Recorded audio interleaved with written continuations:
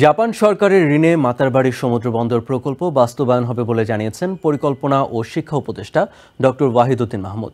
সোমবার প্রধান উপদেষ্টার কার্যালয়ে অনুষ্ঠিত বৈঠকে অনুমোদন দেওয়া হয়।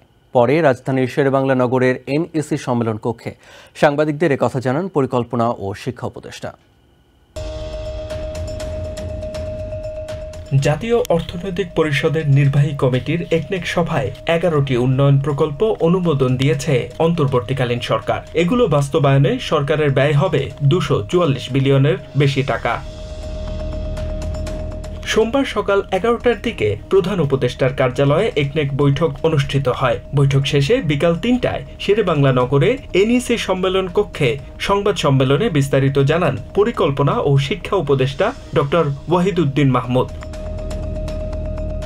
একনেক সভায় এগারোটি উন্নয়ন প্রকল্পের মধ্যে মাতারবাড়ি পোর্ট ডেভেলপমেন্ট প্রকল্প অনুমোদন পেয়েছে। উপদেষ্টা বলেন, মাতারবাড়িতে গভীর সমুদ্র বন্দর তৈরি করা হবে। প্রকল্প বাস্তবায়নে জাপানের অর্থায়নকে সরকার প্রাধান্য দেবে। কারণ, কোন দেশ এটি নির্মাণ করবে তা নিয়ে বহু বিতর্ক হয়েছে। সব যাচাই বাছাই শেষে জাপানকে নিরাপদ মনে করছে বর্তমান সরকার। এ প্রকল্প সম্পর্কে তিনি আরও বলেন, অন্তর্বর্তীকালীন সময়ের মধ্যে এটাই সব থেকে বড় অবকাঠামো প্রকল্প হবে। বিগত আওয়ামী লীগ সরকারের আমলে প্রকল্পটি অনুমোদন দেওয়া হয়। জানুয়ারি দু হাজার বিশ থেকে ডিসেম্বর দু হাজার ছাব্বিশ মেয়াদের প্রকল্পের ব্যয় ধরা হয়েছিল একশো সাতাত্তর বিলিয়নের বেশি টাকা। ওই সরকারের আমলেই প্রকল্প এক দফা সংশোধন করা হয়, বাড়ানো হয় প্রকল্পের ব্যয়ও।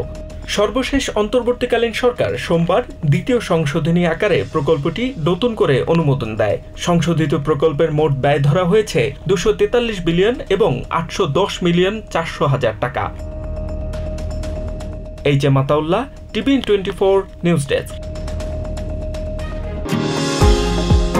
New York থেকে সম্প্রচারিত টিভিএন টোয়েন্টি ফোর টেলিভিশন, বিশ্বজুড়ে বাঙালির কণ্ঠস্বর।